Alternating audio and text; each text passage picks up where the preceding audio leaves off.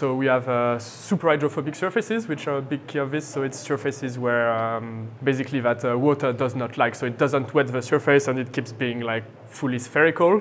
And when you throw a liquid at these surfaces, then it bounces off, and the order of magnitude of the time is like, I don't know, 10 milliseconds.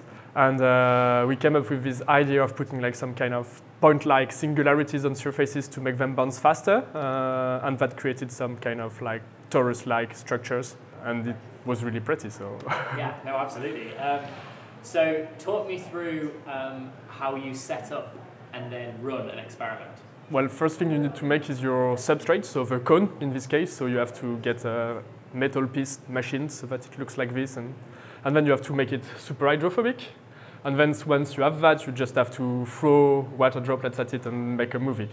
So if you want to have nice experiments, uh, basically you need to throw the droplets centered on the tip of the cone, which is something that gets you a bit OCD as a PhD student. So for example, in the movie, they are all not all perfectly centered.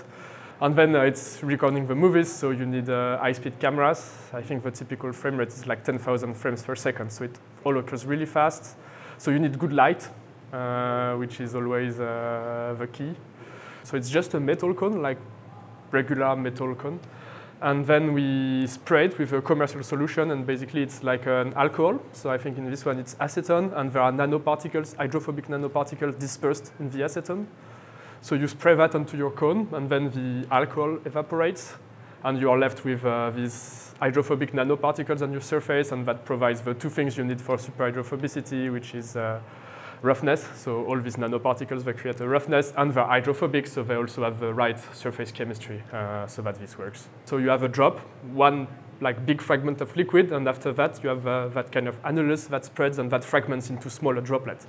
And so one of the things we're interested in is uh, trying to characterize the, the fragments. So can we predict from, I don't know, the impact conditions like drop size, cone angle, uh, impact velocity? Are we able to say, okay, then in the end, the most probable fragment size out of it, can we get a probability density function of this, uh, of this fragment size?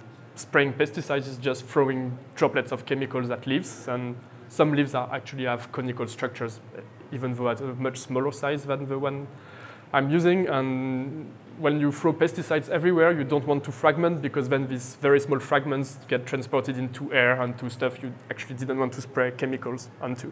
A lot of people are actually there are even talks here at the conference about people trying to understand like when you spray something, what's the fragment size and it's important for the, for the industry. So you can tune the liquid, but you can tune what you're throwing stuff at. Yeah, I like, uh, I like taking movies. I also like photography before starting that PhD. So it's uh, actually a lot of help because the, usually when the videos look better, it's also easier to measure stuff.